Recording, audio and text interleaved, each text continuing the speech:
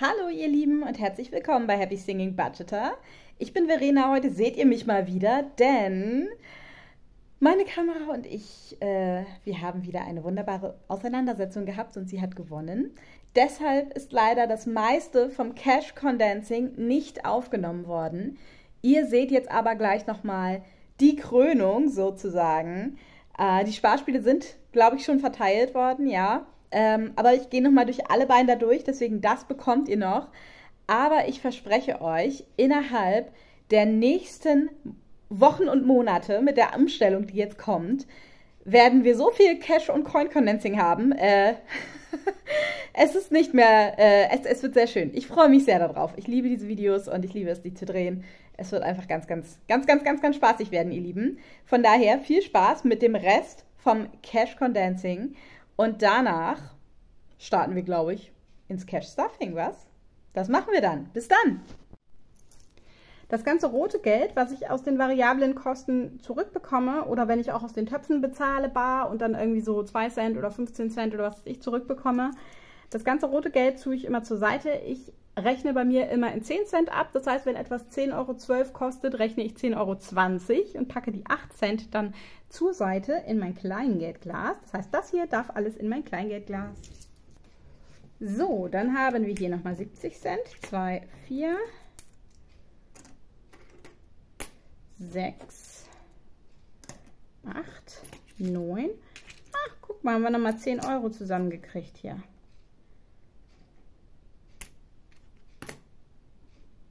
Oder nicht? War das jetzt richtig? Ich muss jetzt noch mal einmal schauen. Moment. Also, wir nehmen hier auch direkt den Taschenrechner. 4,5 plus. Ich meine, wir hatten in der Freizeit noch 3 Euro drin. Genau, plus 3. Plus 2,7. 10,20 Euro. So, mit 10,20 Euro sollten wir am Ende dastehen. Genau. Das war schon korrekt. 2, 4, 6, 8, 10, 20. So, sehr gut. Das heißt, hier hatten wir ja eben, 2 Euro hatten wir auch noch. Dann würde ich sagen, machen wir in die Freizeit mal, mal, mal, mal. Wir machen mal 3 Euro rein und sind dann bei 5. So, Moment.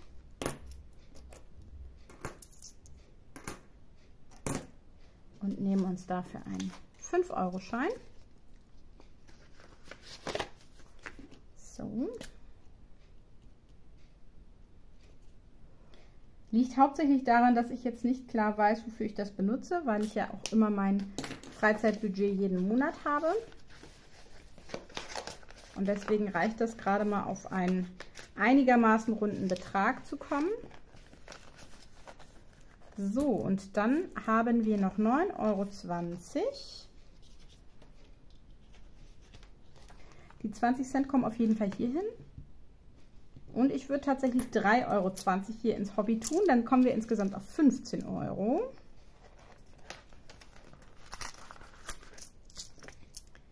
So, 2,80, 2 Euro und sind insgesamt 5 Euro.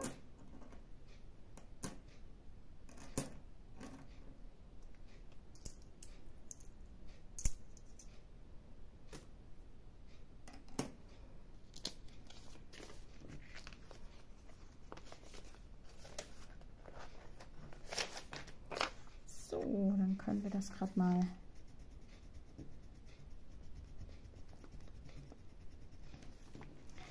radieren, denn wir haben 5,30 Euro reingetan insgesamt. Und sind dann auf 15 und das ist auch hier drin. Sehr schön. Haben wir noch 6 Euro. Okay. Ähm, MMM.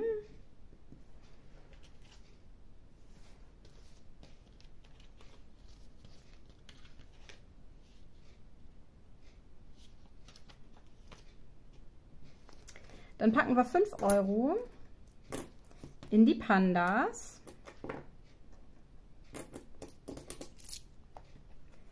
und kommen damit auf 110. Der bleibt noch über, genau, Moment. Nicht durcheinander kommen hier. Kommen damit auf 110. So.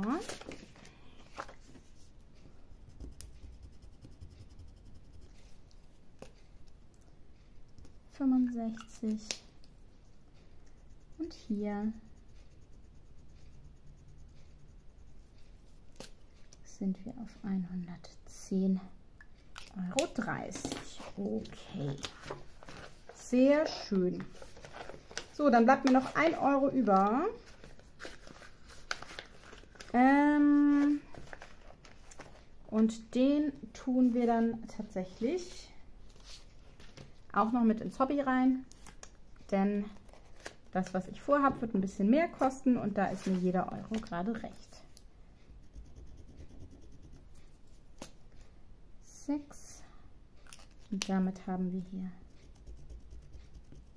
12,80 Euro drin. Und dann können wir natürlich das austauschen gegen ein. Ach, das hatten wir ja aufgerüstet auf 15, richtig. So, das hatten wir hier nur noch nicht vermerkt. Okay. Also, wir haben insgesamt jetzt hier 16 Euro drin. Das kommt mir nämlich auch bekannter vor. so.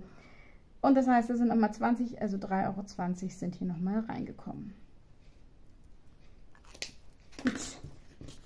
Gut, gut, gut. So, dann haben wir die doch schon mal fertig. Und dann würde ich sagen, gehen wir jetzt nochmal durch meine Umschläge, um zu gucken, ob wir irgendwo nochmal Cash Condensing machen können.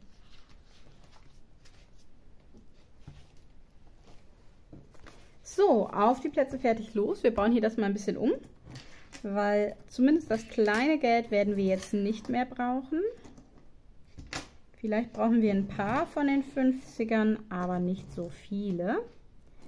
So, ich packe mal ein paar 1-Euro-Stücke hin, aber auch nicht so viele.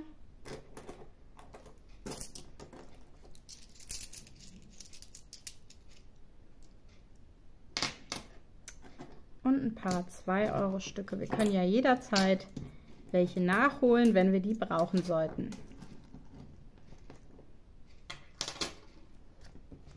So.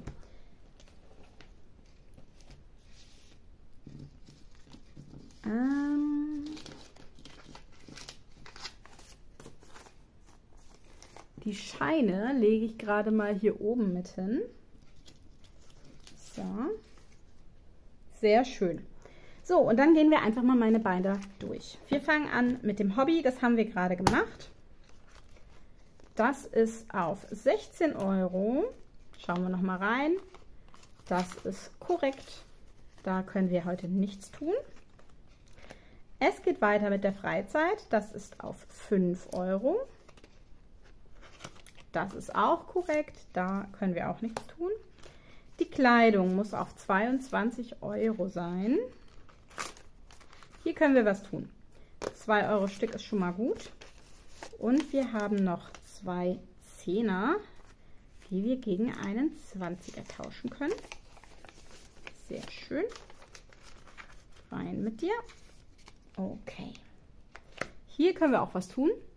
Das ist mein Würfel und Zucker. Das ist eigentlich auch ein Freizeitumschlag. So, da haben wir einmal 20. Wir müssten insgesamt 24,80 Euro haben. 1, 2, das können wir schon mal tauschen gegen ein 2-Euro-Stück. Da ist noch eins. Und zwei 10 Cent Stücke tauschen wir mal gegen ein 20 Cent und dann haben wir auch die 80 Cent so groß wie möglich. So, 24,80 war hier tatsächlich drin. Sehr schön. Das freut mich doch. Weiter geht's. Mit dem Ausflug. Hier müssten 35 Euro drin sein. Und hier sind 35 Euro drin, komplett korrekt. So, 20, 10 und 5. Sehr schön. Weiter geht es. Pandas in Berlin, 110,30 Euro. So, hier sind die 30 Cent. 50, 70, 90, 100, 110. Das ist korrekt.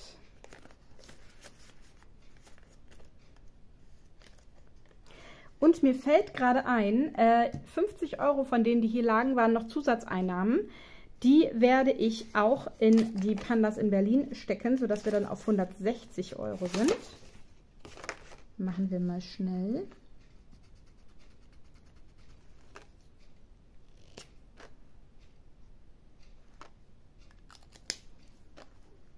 Eine 160 daraus. So, dann ist nämlich zumindest ein Teil vom Hotel schon mal mit dabei. Das ist doch ganz gut. Okay, sehr schön. Super, weiter geht's. Die Nordlichterkreuzfahrt, da habe ich ja auch ewig nichts gemacht. Das ist noch auf 12,50 Euro, das ist noch von April. Das haben wir jetzt auch länger nicht bespart. Das ist auch noch korrekt dort drin, sehr schön. Mein Urlaub ist leer. Ich mache dieses Jahr immer nur Ausflüge und von daher ist das nie in die Urlaubskasse gelandet. Sehr schön. Erster Binder erledigt. Wir gehen zum zweiten. Das ist der Gesundheitsbinder. Was liegt denn da? Naja, wir sind gespannt. So, wir fangen an mit Hosting. Ist auf 25 Euro. Schauen wir mal rein. 25 Euro sind drin, komplett korrekt. Vielen Dank. Weiter geht es mit den Geschenken. Die müssten jetzt auf 20 Euro sein. Das ist richtig, die haben noch zwei Zehner, das heißt, da können wir noch mal tauschen. Sehr schön. Ah, das ist aber gut, dass ich so viele Zehner habe, weil die gibt es nämlich nicht so viel am Geldautomat. 20er gibt es immer am Geldautomaten, das ist immer ganz gut. Sehr schön. Weihnachten hat 83,50. Ich nehme an, dass das schon in der richtigen Stückelung ist. Wir werden es sehen. Ja, es fühlt sich so an. Also wir haben hier 50 Euro schon auf der Bank, 20, 30, 33, 50. Also mit den 50 zusammen sind wir auf 83,50 Euro. Das ist korrekt. Sehr schön. Super. Luis, mein kleiner Patensohn. Da müssen wir auch ein bisschen was kondensen. 33,10 Euro sollten hier drin sein. Wir schauen mal. Jetzt haben wir keinen 20er mehr, aber es macht nichts, weil hier sowieso ein bisschen was raus muss. Also 1, 2, 3, 4, 5, 6, 7, 8. Das ist ja schon mal gut. Dann ziehen wir mal 3 ab und haben hier 5,10 Euro beziehungsweise 5 Euro und klauen uns den 5-Euro-Schein und nehmen den dritten Zehner und sehen schon, dass wir dann auf 30 Euro sind. Das ist doch schön. Das ist doch wirklich schön. 33 Euro. Hier können wir nochmal ein 2-Euro-Stück reinpacken. So. Und sind dann auf 33,10 Euro. Sehr gut. Freut mich sehr.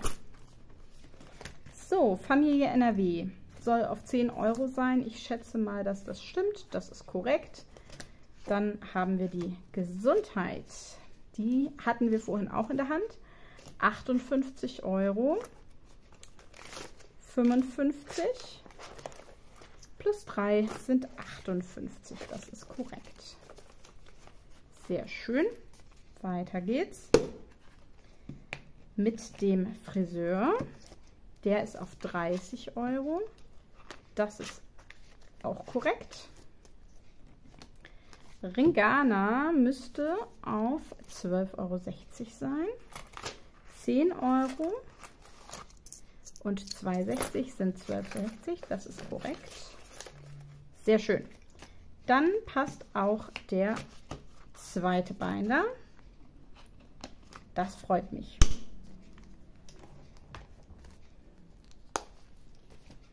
Und dann kommen wir zum letzten. So, da haben wir Heim und Garten mit 5 Euro. Da können wir auf jeden Fall was tun, denn hier sehe ich Kleingeld. 2 4, 5 Euro, das ist korrekt. Und dann nehmen wir uns einen 5-Euro-Schein. So, sehr schön. Technik ist auf 5,70 Euro. Ich glaube, da haben wir aber schon einen 5-Euro-Schein drin. Gucken wir mal rein. Ja, der ist da schon drin und die 70 Cent, genau. So, im Auto schauen wir mal. Den haben wir ja eigentlich vorhin schon fertig gemacht. Das müsste auf 243 Euro sein. Da sind 220, 40, 43. Das ist also korrekt und kommt wieder in den Autoumschlag. Sehr schön. Na. So, alles wieder einsteigen. Gut. Und die Nachzahlung, da gucken wir auch noch mal eben, ob wir da noch was ändern können. Ja, ich glaube schon. Hier haben wir tatsächlich auch noch 8 Euro auf der Bank. So.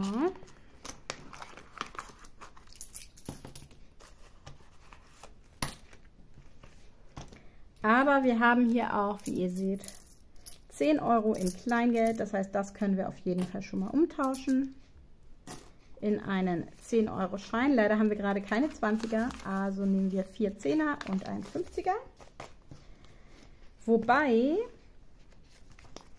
äh, ja, Nachzahlung mache ich auch immer vom Konto. Den 50er packen wir direkt, obwohl wir haben jetzt, wir haben 98 Euro, wir machen das nächsten Monat.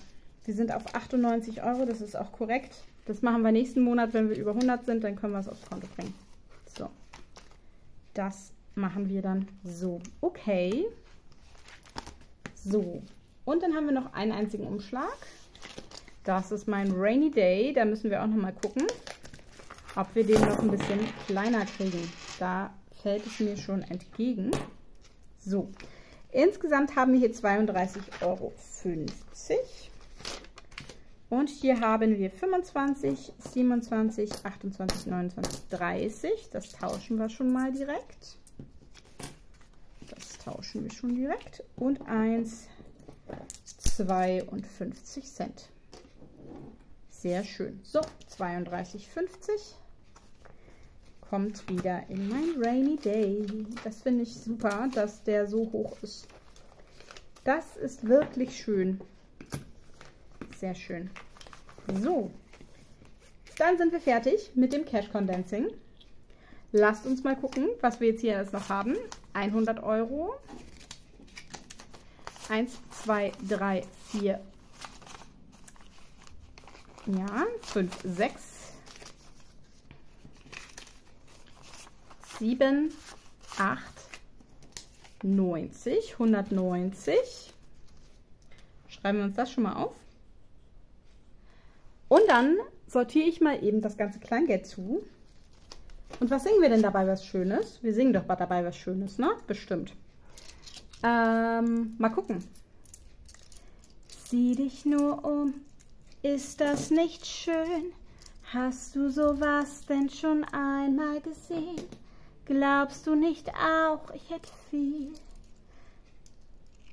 Ich glaube, ich glaube, ich bin falsch, ne?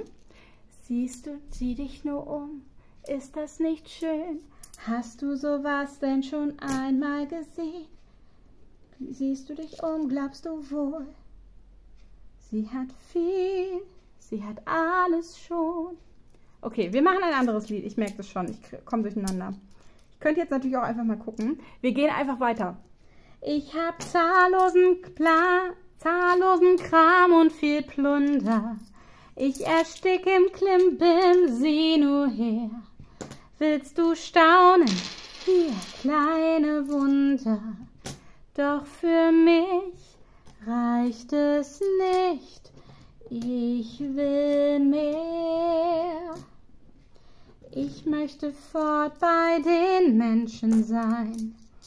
Ich möchte sofort dort mit ihnen tanzen möchte mich drehen und, wie nennen die das? Gehen. Flossen, die tragen nicht allzu weit, denn man braucht Beine zum Springen, Tanzen, um zu spazieren und zu, wie heißt das Wort? Stehen. Dort ist man frei, dort ist man froh, Dort scheint das Licht, der Mond, dort lebt man anders als hier. Drum wünsch ich mir, ein Mensch zu sein, mit Herz und Sinn, zieht's mich dorthin, ich will's probieren. Ich möchte rauf, endlich hinauf an ihren Strand, will ihren Sand in meiner Hand, was man mir nur genannt, selbst spüren. Ich will's wissen, endlich wissen, ich bin gespannt und sehr interessiert, was man oben weiß. Hab viele Fragen, möchte darauf Antwort. Was ist Feuer und wie ist es heiß? Was ist der Preis? Ich zahl ihn gern, wär ich am Ziel, am Ziel dort oben. Heute und hier wünsche ich mir ein Mensch zu sein. Drei, vier, fünf, sechs, sieben, acht, neun, zehn. Ich glaube, nächstes Mal nehmen wir lieber Pocahontas. Das könnte besser funktionieren. Oder, oh, da freue ich mich auch drauf, das ist aus den neuen Challenges. Oh. So, 2,50. 3 Euro. Bin ja gespannt. 2, 4, 6, 8, 4 Euro.